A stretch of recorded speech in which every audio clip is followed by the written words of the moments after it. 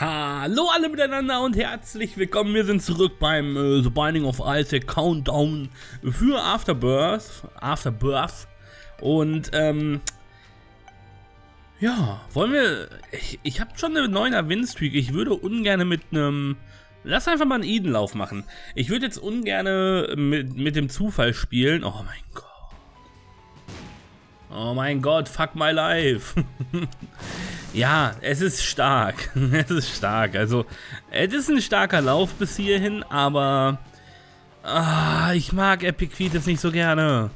Ich finde es immer langweilig, so ein Stück weit.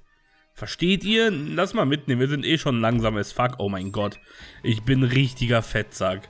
Ich glaube, so nenne ich die Folge. Ich bin ein richtiger Fettsack. Das ist, alter Leute, das ist 1A Clickbait, weil ich dick bin, versteht ihr? Dann werden alle sich so denken, oh mein Gott, was ist denn mit ihm los? Und dann klicken die drauf. Ich könnte ein Bild von mir drauf machen. Leute, wollen wir heute mal zusammen äh, Clickbait äh, studieren und uns mal überlegen, was macht man jetzt am besten mit diesem Video? Ich meine, wisst ihr, wenn wir mal über Clickbait reden wollen, ja, dann ähm, stellt sich die Frage, erstmal, was ist Clickbait? Ja, Clickbait ist nämlich, äh, ich, ich glaube, Leute vertauschen Clickbait auch oft mit etwas.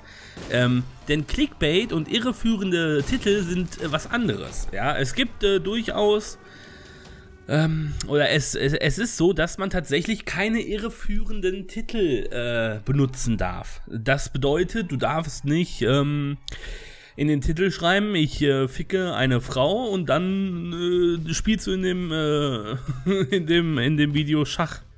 Wobei man da natürlich sagen könnte, wenn du einen richtig geilen Downtaker auf die Dame äh, kriegst, ne, vom Gegner, dann, hm, hm, dann ist der Titel vielleicht sogar richtig, aber ihr wisst, was ich meine. Also da ist also nicht irgendwie, ähm, oh mein Gott, ähm, jemand stirbt und dann erklärst du, ja, und dann redest du darüber, dass du gestern einkaufen warst und fertig. So, das, das darf man halt so in der Form nicht machen, weil ähm, das tatsächlich eigentlich verboten ist. Ähm, was man aber natürlich machen darf, ist Clickbaiten. Und was ist Clickbaiten? Clickbaiten bedeutet, äh, so im Grunde, du überlegst dir, welchen Titel, welches Thumbnail mache ich für mein Video, dass es am meisten geklickt wird. Und ich verstehe diese ganze Diskussion darum nicht. Es gibt, das ist so, also Ah. ah. Ich weiß nicht, es ist so Mainstream geworden, äh, gegen Clickbait zu sein. Unter jedem Video siehst du irgendwelche Leute, die sich beschweren und die dann sagen, äh, äh ich habe letztens äh, eine Sache zum Beispiel, ich habe letztens bei Dena, glaube ich, Varo gesehen und Dena hat in den Till geschrieben, ähm, ähm, wegen Strikes aus dem Projekt geflogen. Oder irgendwie so. Und dieser Titel hat sich auf eine Diskussionsrunde am Ende des Videos äh, bezogen, weil sie da darüber geredet haben, dass halt Leute aus dem Projekt geflogen sind.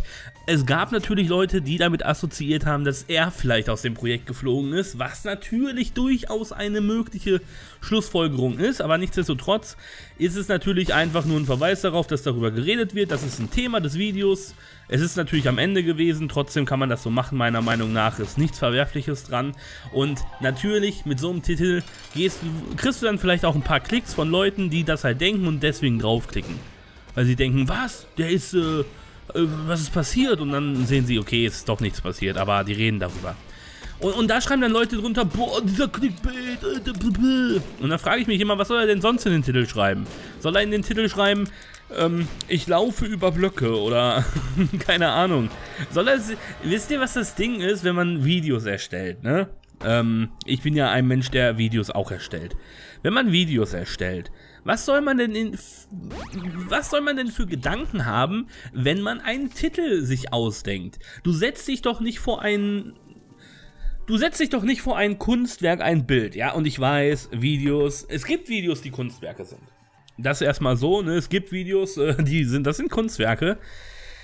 Aber es gibt natürlich, aber äh, Videos machen es jetzt nicht unbedingt vergleichbar mit einem Kunstwerk, wie auch immer, aber ne, gehen wir mit zwei einfach davon aus, du machst ein Kunstwerk, du malst ein Bild.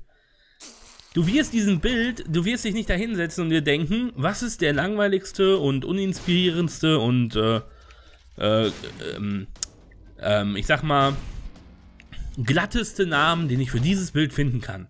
Wie kann ich dieses Bild nennen, dass es möglichst keine Aufmerksamkeit auf sich zieht? So ist es nicht. So funktioniert das nicht. Ja, keine Ahnung. Das ist so sowas macht man halt nicht.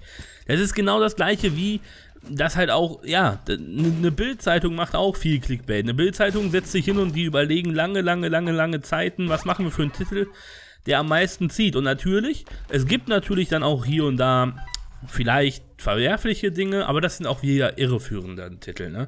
Ich meine, die äh, Bild ist schon durchaus dabei, auch äh, sehr, sehr oft irreführende Titel zu benutzen, wo du dir hinter denkst, hä, das ja, hat jetzt nicht wirklich was mit dem Artikel zu tun gehabt oder so, ja. Das ist halt, das ist halt eine Sache, die ein bisschen nervig ist. Aber auch da muss man sich halt einfach bewusst sein. Ich meine, wir, le wir leben im 21. Jahrhundert in einer aufgeklärten, weitestgehend aufgeklärten Gesellschaft. Irgendwie in einer Gesellschaft, wo ein bisschen auf Bildung ge Wert gelegt wird, nicht so viel wie in anderen Ländern. Das ist ein bisschen schade, aber schon ein bisschen.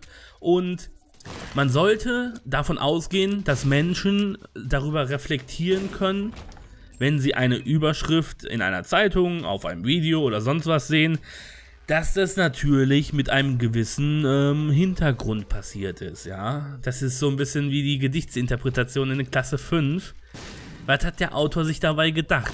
Ja, was hat der YouTuber in dem Fall sich dabei gedacht, dass er einen Titel benutzt, der vielleicht so ist, dass viele Leute draufklicken, weil sie getriggert werden dadurch. Und wie gesagt, solange das ein, ähm, ein Titel ist, der sich durch das Video erschließen lässt, ist es auch kein unerlaubtes Clickbait und von daher meiner Meinung nach komplett in Ordnung. Ich, ich mag diese Diskussion einfach nicht. Das ist in meinen Augen eine so, ich weiß nicht, es ist eine so es ist einfach eine so sinnfreie, wirklich, eine so sinnfreie Diskussion meiner Meinung nach. Ihr könnt da natürlich anderer Meinung sein, das ist mir... Ne, könnt ihr sein, das ist ja in Ordnung, aber deswegen muss ich diese Meinung ja nicht haben und äh, in, meinen, in meinen Augen ist es halt einfach so. Und es ist halt einfach zum Trend geworden, sich hinzusetzen und unter jedes Video zu schreiben, äh, das ist so viel Clickbait, äh, bitte, bitte. Junge, du weißt doch, wie das Business funktioniert. wenn du der Meinung bist, klick halt nicht auf solche Titel, wenn es dich stört. Ich meine, ich verstehe, ich verstehe, ich verstehe den Angriffspunkt nicht. Ich, ich verstehe es nicht. Ey, weil, weil ich halt auch nicht weiß, was die Leute sich denken. Was erwarten Leute denn? Dass du, wie gesagt, natürlich, äh, Clickbait ist, das gab schon immer. Das, keine Ahnung, das gab es wahrscheinlich schon äh, bei den äh, Neandertalern. keine Ahnung. Es ist halt einfach so. Scheiße. Aber ich werde wiederbelebt. Vielleicht will ich ja sterben. Ja, könnte. Eigentlich äh, ist das Sterben hier gar nicht so mega blöd. Wobei, wenn wir mal gucken. Ich weiß noch nicht genau, ob ich sterben möchte. Ich würde erstmal gerne den Devil Deal jetzt erreichen. Dann könnte ich eventuell im Devil Deal sterben. Mal gucken. Makukin. Okay, okay, wir sterben auf jeden Fall. Bevor wir das einsammeln, wir haben jetzt noch ein Herzchen, sterben wir. Warum? Weil wir wiederbelebt werden als Judas. Und, ähm. Dann haben wir doppelten Schaden. Wow. Danke, du blöder Fluch, ey. Ja, keine Ahnung. Ihr, pff, schreibt mir gerne eure Meinung in die Kommentare, aber ja, ich, ich werde, ich werde da von meinem Standpunkt auch nicht wirklich wegrücken und ich bin sehr überzeugt davon, dass ich da auch nicht falsch liege mit. Alter, entschuldige mal Curse of the Maze. Was ist denn hier los? Ja, es ist ein bisschen nervig, finde ich. Ich, ich finde es immer wieder schade, ja. Ich finde es auch schade, dass äh, coole... Ich meine, wenn ich einen Clickbait-Titel sehe, wenn ich einen Titel sehe, der wirklich krass mich getriggert hat, dann finde ich das eigentlich... Dann, dann fühle ich in dem Moment eigentlich mehr Respekt dafür als irgendwie Wut oder so. Oh, jetzt muss ich nochmal laufen. Weil, keine Ahnung, das, das zeugt halt auch von. Ja, es zeugt nicht immer von Kreativität. Ja, wahrscheinlich. Na, wahrscheinlich ist es sogar relativ einfach, Click, äh, Clickbait-Titel zu machen, die gut sind, aber. Aber es gibt schon so ein paar Kandidaten, wo du dir, wo ich mir hinterher denke, so, boah, den hat er aber gut gerissen. Keine Ahnung, ich, ich, ja, ich meine, ich fühle mich ja nicht. Ich weiß auch nicht, was das Problem im Grunde ist. Fühlen die Leute sich betrogen? Aber betrogen wovon? es gibt nichts, was sich da betrügt. also wahrscheinlich, äh, wahrscheinlich sind die Leute getriggert, weil sie irgendwie mit einer anderen Erwartung in das Video gegangen sind und sich dann irgendwie schlecht fühlen, weil sie drauf reingefallen sind. Aber da muss man sich auch nicht schlecht fühlen. Ich meine, wir sind halt auch einfach, wir sind halt auch einfach, wir sind halt einfach so, wenn da ein Unfall vor uns ist, die Menschen, Menschen sind so, die gucken. und, und ich finde auch nicht, dass es was Schlimmes ist und ich glaube auch nicht, dass man sich deswegen schämen muss oder so. Natürlich sollte man äh, noch die Pietät besitzen, in den ein oder anderen Fällen nicht so auffällig hinzugucken oder einfach weiterzugehen. Ja, aber wenn man auf einen Titel irgendwie reinfällt oder sich irgendwie oder merkt, Alter, der hat mich aber jetzt hier richtig reinge, reingezogen mit seinem Titel, dann, dann fühlt doch Respekt für den Dude. Und auch wenn es irgendein Arschloch ist, den ihr nicht mögt, meine Güte, das ist halt auch so ein Punkt. Dieses ganze, ja, immer dieses, ach, ich weiß auch nicht, es ist halt einfach, keine Ahnung, ich, ich bin da wirklich nicht in dem Game drin, dieses ganze, ah, ich weiß nicht. Ich, ich, ich mag es einfach nicht. Dieses äh, Aufregen über Leute, die irgendwelche Dinge machen und dieses ganze Game darüber. Lass die Leute einfach machen, was sie machen wollen. Keine Ahnung. Und, und wie gesagt, was natürlich ein bisschen doof ist, sind halt einfach irreführende Titel. Ja, wie gesagt, das ist halt so eine Sache.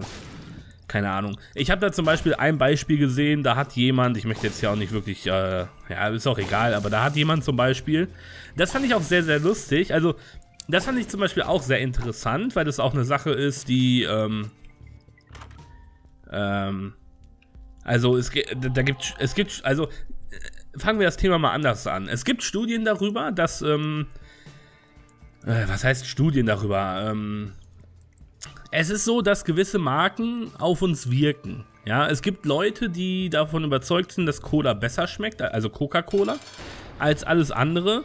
Und es gab dann, es gab dann äh, Forschungen, wo den, wo Leuten dann nicht Cola in äh, Cola abgefüllt wurde. Also, ja.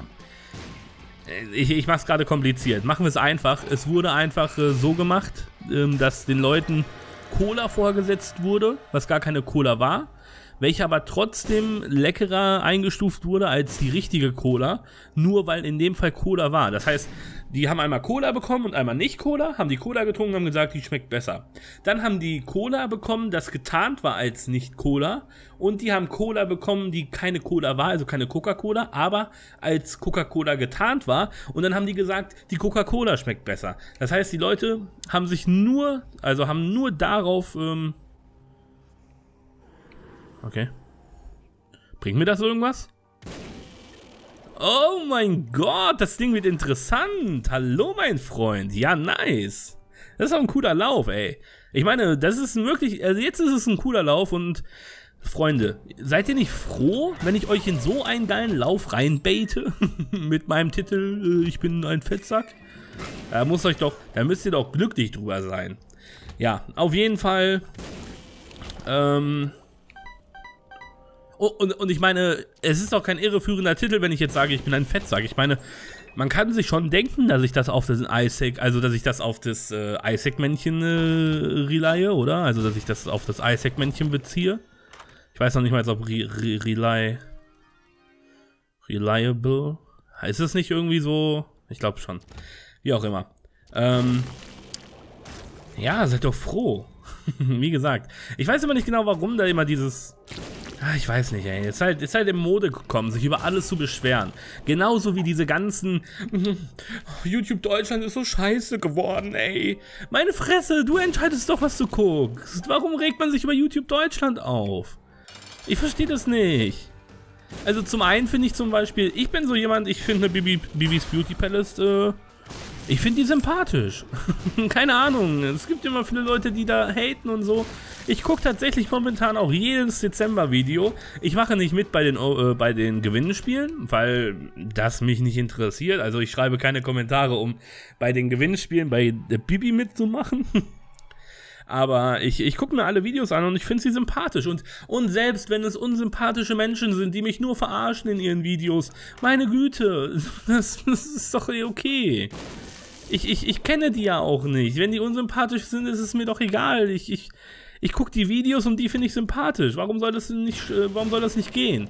Und dann wird immer wieder dieses, äh, keine Ahnung, Bibi hat irgendwann mal eine Uhr, Product, ein Product Placement für eine Uhr gemacht, die irgendwie ein bisschen fragwürdig war. Ja, und das ist, das, das ist so eine Sache, die immer wieder erwähnt wird und wo ich mich auch immer wieder frage, warum erwähnen das alle Leute immer und immer wieder? Habt ihr noch nie Dinge getan, die fragwürdig waren? Doch, natürlich. Jeder Mensch macht Dinge, die fragwürdig sind. Ich auch. Meine Fresse. Die, viele davon kennt ihr halt wahrscheinlich nicht oder wisst ihr nicht von. Aber ich habe in meinem Leben schon viele Dinge getan, die fragwürdig waren.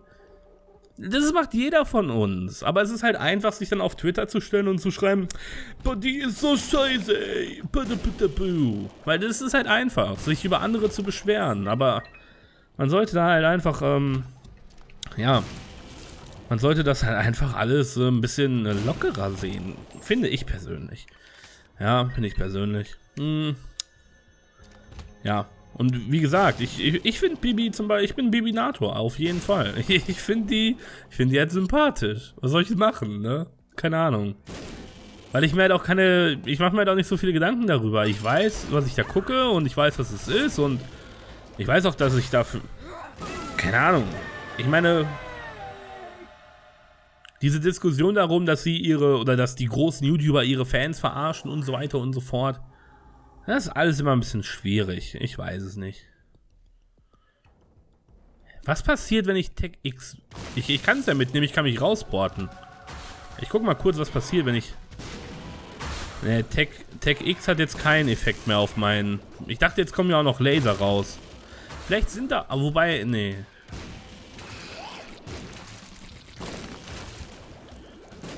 Ja, ich teleportiere mich mal raus. Man kauft das blaue Herzchen und... Ja, das Item brauche ich nicht mehr, weil ich äh, eh keine Goldräume mehr kriege. Hm. Ja. Keine Ahnung. Ich, äh, wie gesagt, ich bin halt einfach ein... Ja. Oh, und, und damit meine ich natürlich nicht, dass man Dinge nicht kritisieren darf, ne? Aber es gibt natürlich einen Unterschied zwischen Kritik und zwischen diesen Leuten, die überall und, und wenn irgendein x-beliebiger YouTuber, ja, es ist ganz egal, wer das ist, irgendein Mensch, irgendein äh, Twitter-Hashtag ist unterwegs, weil die kleinen 13-jährigen Mädchen ihre, ihre, ihr Vorbild, ihr YouTuber-Vorbild oder was auch immer feiern und für die eine Fanaktion machen.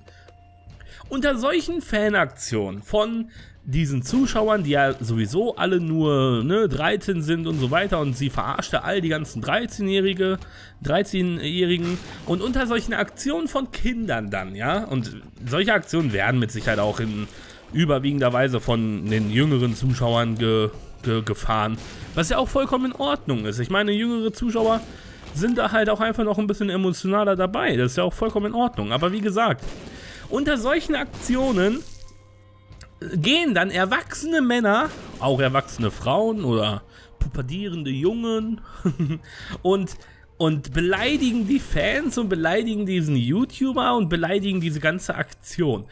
Wo ich mich so frage, keine Ahnung, gehst du auch bei einem zwölfjährigen Mädchen oder bei einem achtjährigen Mädchen in die, ins Kinderzimmer und beleidigst die Barbie? keine Ahnung, lass diese Kinder, lass die Menschen doch einfach Spaß haben. Meine Schwester war früher auch ein riesengroßer Backstreet Boys Fan und, äh, und war in irgendjemanden von denen verliebt. Ist sie heutzutage nicht mehr. Wobei die Backstreet Boys immer noch, äh, also, das sind immer noch geile Lieder, ne? also da, da brauchen wir natürlich nicht drüber reden. Aber ja, ist doch alles in Ordnung. Ich meine, was ist denn das Problem? Oh, drei blaue Herzen, das ist sehr, sehr gut. Sehr, sehr, sehr gut. Ähm,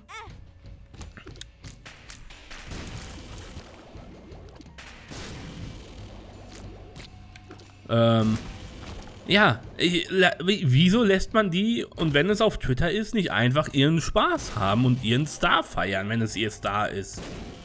Das verstehe ich nicht. das verstehe ich einfach nicht. Ich meine, das sind erwachsene Menschen und, und, und die setzen sich dann dahin und behaupten von sich, dass sie irgendwie intellektuell besser sind und intellektuell anspruchsvoll und meine Fresse, es gibt genug intellektuell anspruchsvolle Political Correctness Scheiße auf dieser Welt. Lass doch einfach mal die Menschen Spaß haben, wenn sie an etwas Spaß haben. Und das sind solche, das ist auf Twitter halt einfach immer so. Und das finde ich immer wieder nervig. Ja, das muss ich halt so sagen. Ja, ich, ich, ich rede da sehr selten drüber und aber, aber, ja, und ich meine, ich rede jetzt ja auch, also, keine Ahnung, ich, ich, ich habe gerade Spaß an dieser Unterhaltung, ne? Es ist jetzt nicht so, dass ich mich äh, darüber beschweren will, ich, ich habe nur gerade Lust darüber zu reden, ähm, weil, ja, ne, kann, also man kann das nicht ändern, aber, aber einfach dieser Fakt so, keine Ahnung, ne? Da frage ich mich immer, was ist mit diesen erwachsenen Menschen los, wirklich, wer, wer keine Ahnung, ich, ich verstehe es nicht. äh, ich verstehe es nicht, wirklich. Ich habe dafür kein Verständnis. Ähm, ja, und generell, ne? Ich meine, da, das gibt es halt bei den Beauty-Sachen, das gibt es auch bei den Comedians und das gibt es halt bei jeder Gruppe, ne? Die Minecraft-YouTuber, ich meine, Das ist auch so eine Sache, ne? Es wird immer über die Minecraft-YouTuber herumgezogen und so. Und ich frage ich mich immer, was ist das Problem? Ist man. Ich weiß nicht. Ich meine, ich bin zum Beispiel jemand, der sehr, sehr gerne solche kurzweiligen Dinge guckt, wie zum Beispiel ein Minecraft-Modus äh, wie, äh, ja, keine Ahnung, Survival Games machen so wenige, ne? Ich gucke auch nicht so viele Minecraft-YouTuber und vor allen Dingen äh, weniger kleine, deswegen kriege ich wahrscheinlich auch nicht so viel mit. Es gibt bestimmt noch Leute, die aktiv Survival Games bringen und so. Was ich zum Beispiel auch gerne gucke grundsätzlich. Aber äh, zum Beispiel, ähm, ne, keine Ahnung, so Bad Wars oder solche Dinge, das sind einfach Dinge, die ich persönlich gerne gucke. Ja. Und äh, das sind, das sind coole Videos, auch wenn es immer wieder das gleiche ist. Es ist genauso, wie ich früher oder immer und immer und immer und ohne Punkt und Komma Mario Kart Wii gucken konnte. Weil es einfach fucking Spaß macht und kurzweilig ist. Und weil ich an sowas einfach extrem viel Spaß habe. Und, und, und, und dann gibt es ja auch wieder in der Minecraft-Szene solche Leute wie zum Beispiel einen Herrn Bergmann oder ein Stegi, der leider nur zu Varo-Videos macht und dieses Mal ja, ein bisschen dumm war. Ne? Der Creeper, der war auf jeden Fall äh, im Lead. Aber ja, meine Güte. Denn solche Leute, wenn man sich diese Videos anguckt, dann ist es teilweise Kunst, was da passiert. Und dann gibt es Leute, die einfach sowieso immer sagen, Minecraft-YouTuber sind alle scheiße und dumm und machen nur Kacke und bla bla bla. Oh mein Gott, ey. Lass die Leute doch machen, was sie wollen.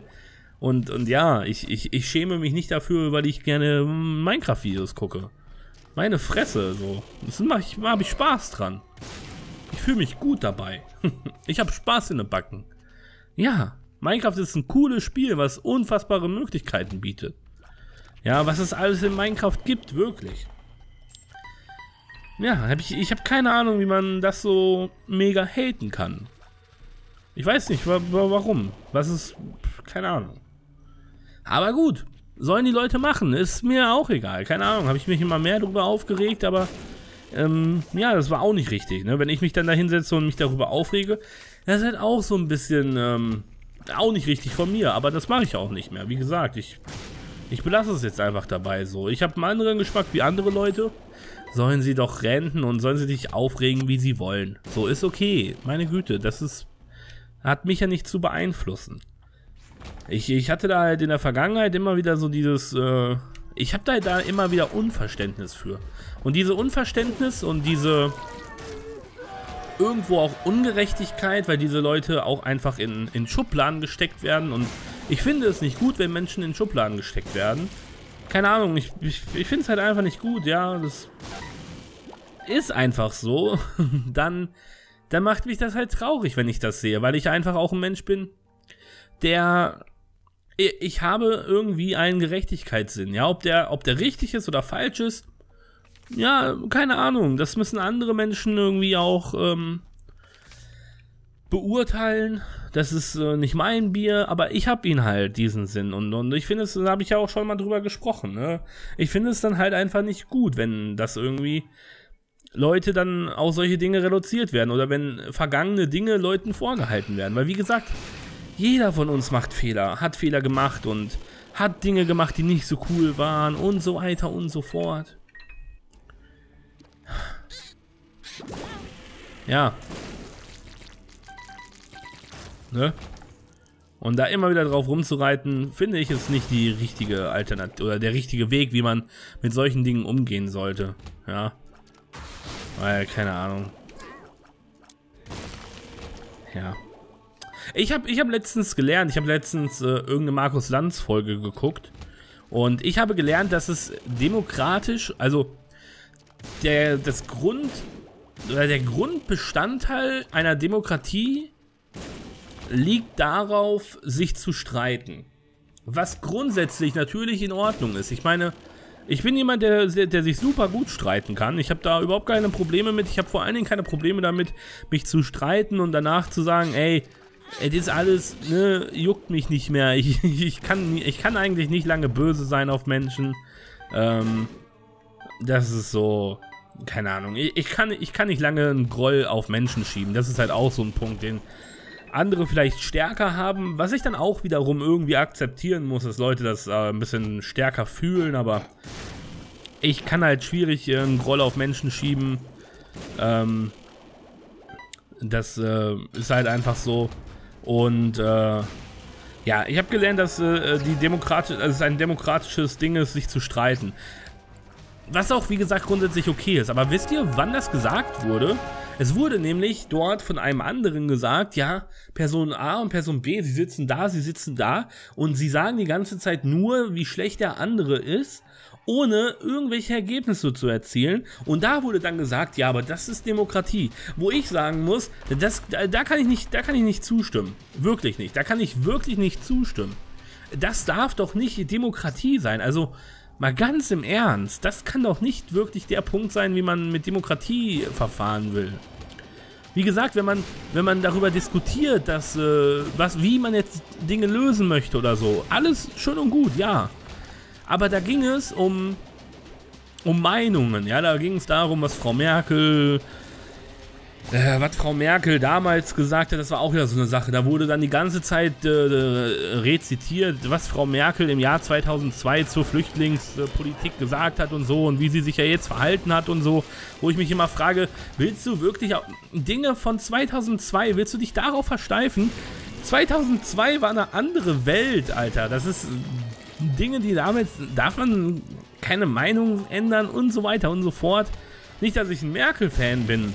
Ja, ich, ich bin aufgewachsen in der ähm, in, in dem Verständnis, dass ich die SPD wähle und wenn ich jetzt nächstes Jahr wählen muss, ich weiß noch nicht, wen ich wähle.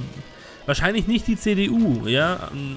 Aber keine Ahnung, ich, wie, wie, unfair ist es denn dann, Dinge von 2002 irgendwie zu nehmen und zu sagen, äh, äh damals hat sie so und so gesagt und jetzt so, was ist denn das?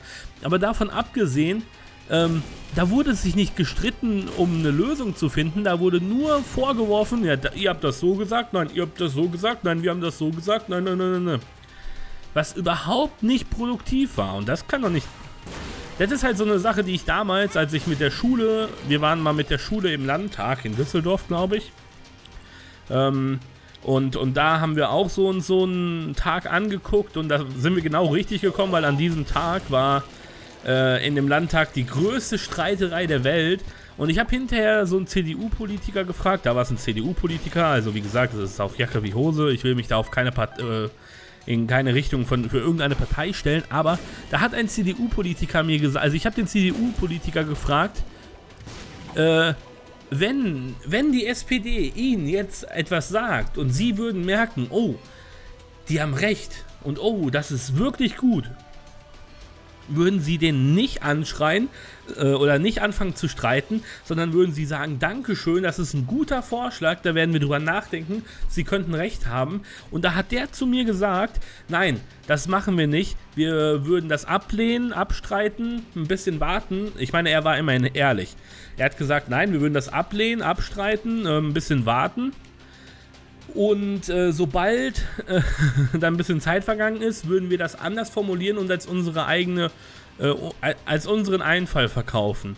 Und da musste ich doch ein bisschen schlucken. Es kann doch nicht sein, dass man gute Dinge, die irgendwie reingebracht werden, dann noch verzögert. Einfach nur, damit man es als eigene Idee ausgeben kann, damit man als, als der ohne dass, damit man den Gegnern halt einfach keinen Credit gibt hier, keinen Respekt oder so, keine Ahnung. Und, und dann, da sehe ich das halt dann ein bisschen schwierig und da, keine Ahnung, weiß ich nicht, ob ich das als, äh, ob ich das wirklich demokratisch finde. Aber ähm, ich bin auch kein Politiker und habe keine Ahnung davon.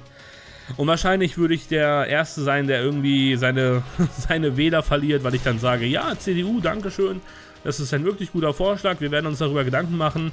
Und, äh, oder wenn wir dann das Gesetz verabschieden, dann würde ich wahrscheinlich noch sagen, äh, danke an die CDU für diesen Einfall und wahrscheinlich würde ich dann aus meiner Partei gekickt werden, weil alle sich so denken, was bist du denn für ein Vollidiot?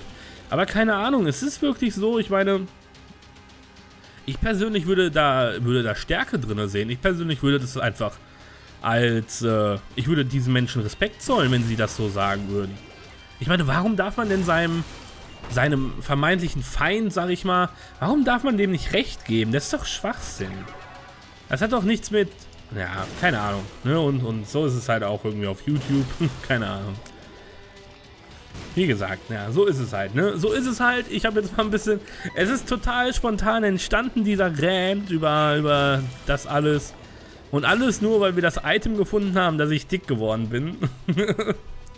so passiert es manchmal im Leben. Ich hoffe, ihr hattet Spaß an der Folge. Wir gehen jetzt noch eben das äh, Blue Baby zerstören.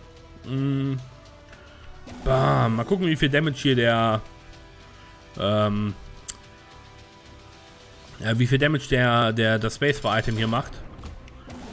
Na, nicht so viel, wie ich erwartet habe irgendwie. Naja, das war auf jeden Fall in Ordnung. Ähm, ja, wie gesagt, das war... ich hoffe, ihr hattet Spaß. Also, ich hatte sehr viel Spaß jetzt. Ich, äh, keine Ahnung, ich könnte jetzt noch Baby auf Thumbnail machen und sowas schreiben wie ich bin ein Babynator oder so. Aber nee, ich werde wahrscheinlich als Thumbnail einfach, äh, als Titel würde ich wahrscheinlich nehmen, ich bin ein Fettsack. Und als Thumbnail nehme ich wahrscheinlich einfach den dicken Isaac, ja damit äh, das auch nicht irreführend ist. Ja, weil wenn ich mich nehmen würde, dann wäre es irreführend, weil man könnte meinen, er redet über sich und so, bla bla bla. bla. Wir nehmen den dicken Isaac und äh, ihr könnt mir mal schreiben, wie ihr den Titel fandet und ob ihr damit äh, d'accord seid und ob ihr damit leben könnt oder ob ihr euch irgendwie betrogen fühlt von mir, weil ich euch mit Clickbaiting ge gecatcht habe. Vielleicht ist es auch gar kein Clickbaiting und sondern ein richtig schlechter Titel. Sowas weiß man wahrscheinlich vorher auch immer nicht selber so genau sind wahrscheinlich auch immer einfach, äh, ja, Dinge, die passieren. Gut, Leute, ich äh, wünsche euch noch einen wunderschönen Tag. Ich hoffe, es hat euch gefallen. Bis zum nächsten Mal. Bis dann. Auf Wiedersehen. Tschüss.